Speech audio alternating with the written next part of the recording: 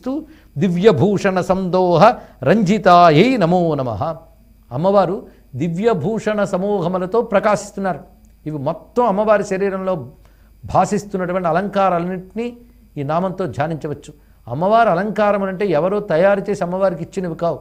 అమ్మవారి దివ్య స్వరూపంతో అవి సహజంగా ఉన్నాయి. దీన్ని బట్టి అలంకారములని మంత్రములే. దివ్యశక్తితో కూడినవే.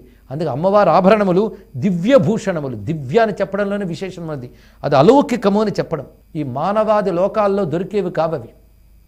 దివ్యమైన అలంకారములు అవి మంత్రమయాలు ఆభరణ స్థుతి అని ఒక ప్రత్యేకమైన మంత్రభాగం ఉంటున్నది. దీన్ని బట్టి ఆభరణములు అంటే మంత్ర విశేషాలే. అవి దివ్యములు అంటే దేవతా స్వరూపములు అని చెప్తూ దివ్యభూషణ సందోహ రంజితాయై నమో నమ.